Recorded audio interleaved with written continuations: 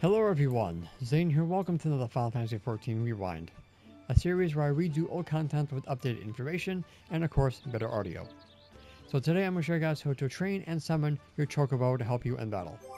So the first thing you must do is unlock your Chocobo.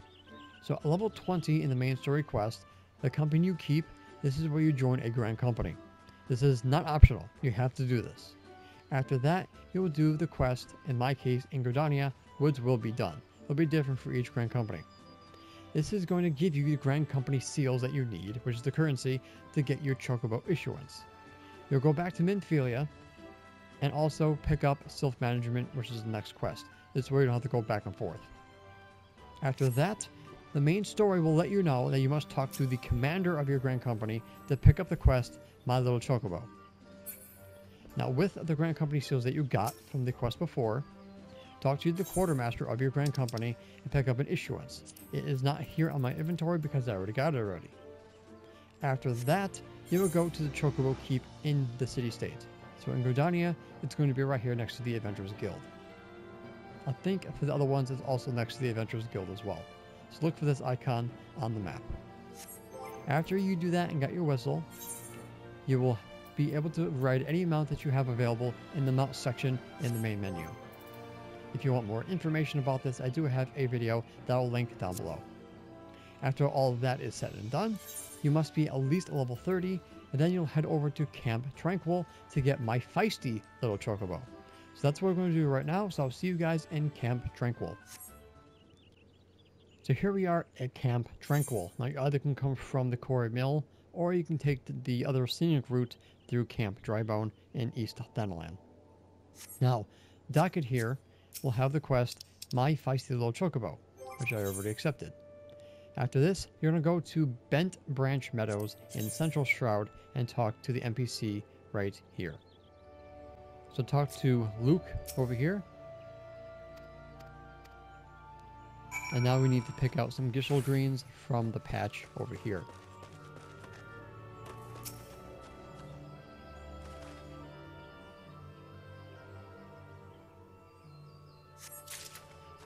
Alright, now you bring it back to him. Now there's going to be another quest after this, so be prepared for more than one. Pass those in. Now your companions are now available.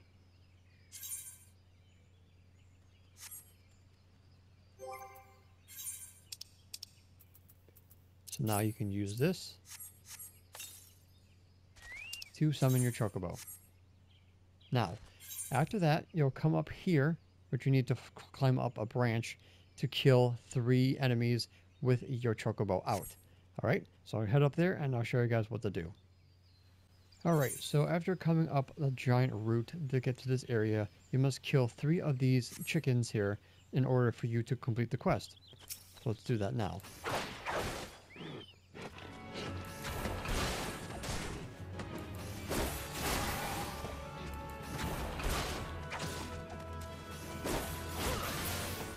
One.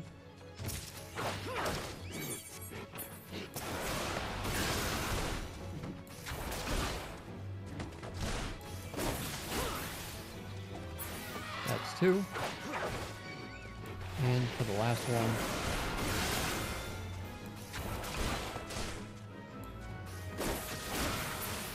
and that would be three. After that, go back down and complete the quest. Alright, so let's pass this in to complete this quest.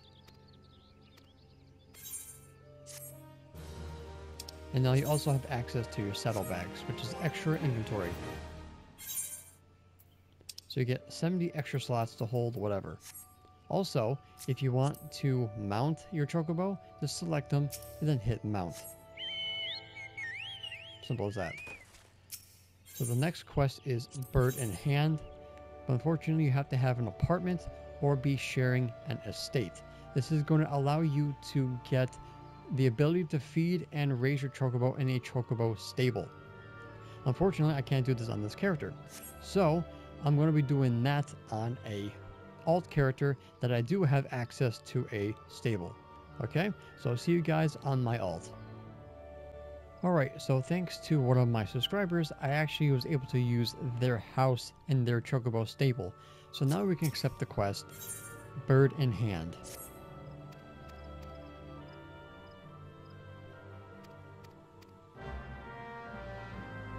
Alright, so now we need to collect all of the vegetable scraps around the stable. So there's a total of five.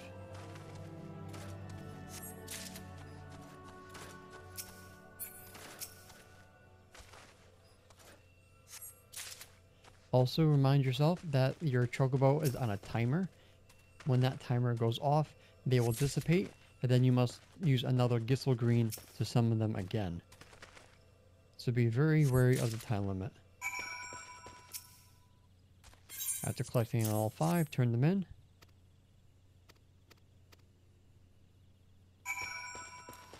Alright, come over here. Talk to this NPC.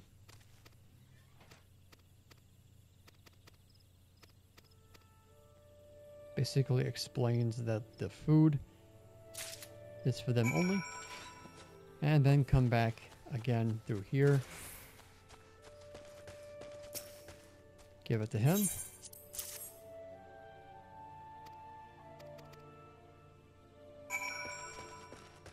Come over here. Talk to Keitha.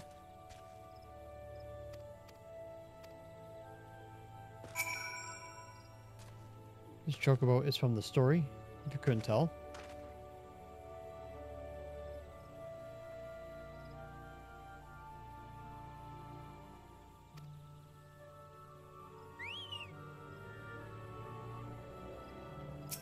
Talk to Keitha again.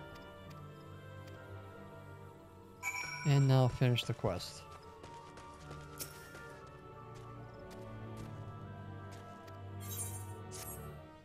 Alright. Now you can use the Chocobo stables to raise your Chocobo as well. Now, there's different types of food, but the most basic is the Krakka root. So now we're going to head over to the plot where the Chocobo staple is, and I'll show you guys exactly what to do. So for this demonstration, I'm going to be using my main character. Now, you can train other chocobos in the stable. So mine's right here. He's already level 20. I have one alt, two alt, and three alts here. Alright, so the first thing you want to do is tend to my chocobo. Train. Now, because mine's already at level 20, nothing will be gained from this feeding. Now, you're going to be using these things called the Sylkis Buds. You have the Coral Root, the Krakka Root, which I showed you earlier. You have tomatoes, eggplants, and of course pumpkins that you also can feed. You will go through a cutscene, and then you'll get experience for your chocobo. Now, earlier, or earlier recording I did on my alt, so I fed them and I got 608 experience. Now, pay attention to the stable cleanliness. If it's fair, that means it doesn't need to be cleaned. If it's poor, definitely need to be cleaned. If it's excellent, which is like sparkle, that means it's the highest experience point that you'll gain for your chocobo when you're feeding it. So make sure that that thing is cleaned. You can get stable brooms at the Hunt Billmaster, I believe, will give you one for a, cost, of course, to clean your stables, or you can craft them yourself. Now, you also can change the name, and feed is where you give them Thavnairian onions after they hit rank 10, because everything after that you need an onion to raise their rank. And you can uh, view their details. Alright, so this is the highest rank that they can go. You also can change their barding here as well. So let's go into learn about chocobo raising. So training my chocobo. It is possible to train your chocobo while he is stable. Doing so will grant him experience points. To train a chocobo, you must first prepare feed to use as a treat.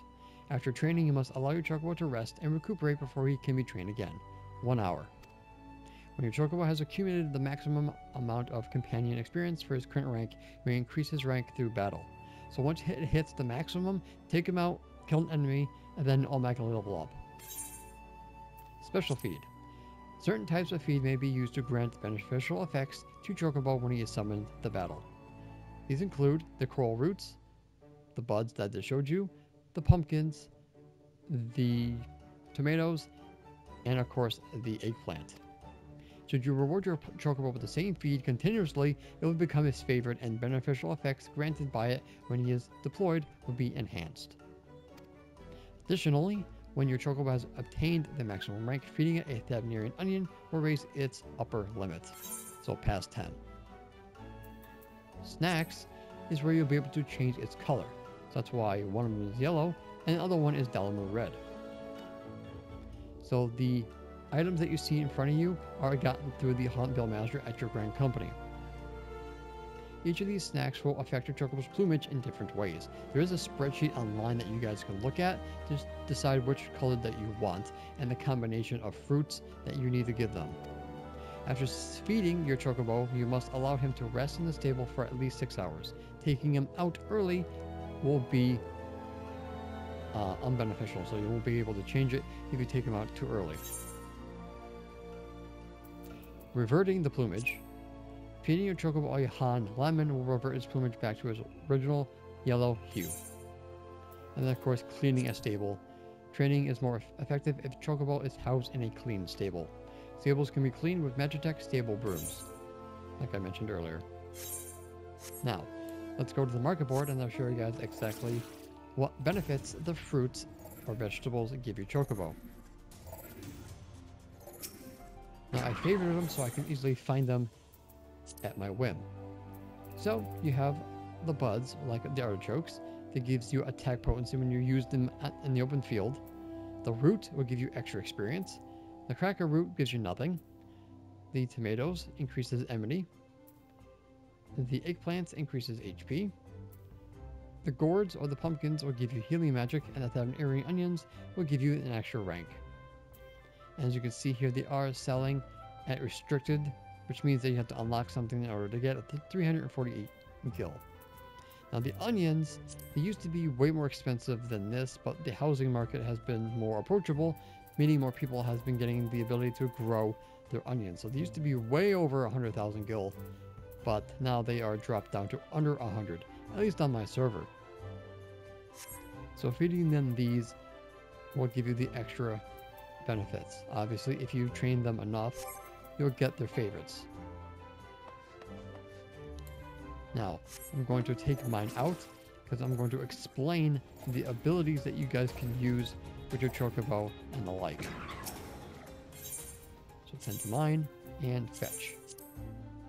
Alright. So, you have actions. You have follow, means do nothing. Free stance means they'll take whatever they have available and use it. Defender stance, tank only. Healer stance, healer only. And attack stance, well, DPS only. So favorite feed is at the bottom, right? For mine is the coral root. You also can mount and dismount from this section as well. Now skills. You must use the Chocobo points as you level up. Obviously they'll cost more the more you go up in rank. So you have Defender, Healer, and Attacker, or Tank, DPS, and Healer. When you get the first 10 levels, you get a Barding depending on which role that you chose. So Paladin, White Mage, Dragoon. So for a Defender, you have Choco Drop, Enhanced Strength, HP, Choco Kick, Accuracy Up, Critical Hit, Choco Guard, Strength, HP, and Choco Strike. Healer, Regen, Mind, HP, Choco Cure, Accuracy, Critical Hit, Surge, Mind, HP, and Medica.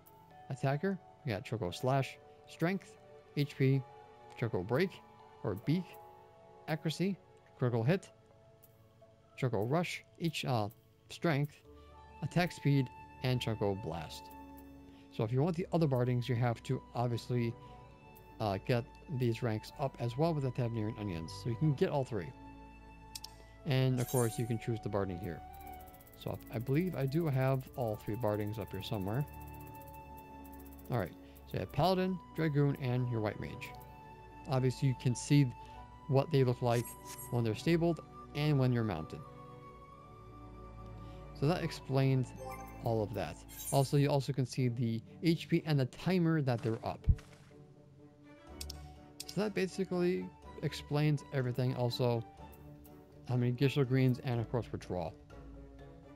if you are in a residential area, you can't see your chocobo, so you can withdraw from here if it's up. Okay, so that's everything you guys need to know to raise your chocobo up to level 20. Obviously, if you want to grow your own, you're going to have to have your own house, or you can use a free company member's house or a friend's house. For me, I have a free company house or a friend's house over here. If you look on the map, you can see that it's hearted, which means that I share this plot with my friend. And you also can use your garden beds as well, which I don't have any seeds. But yeah, smalls can only use one, mediums can use two, and of course large can use three gardens.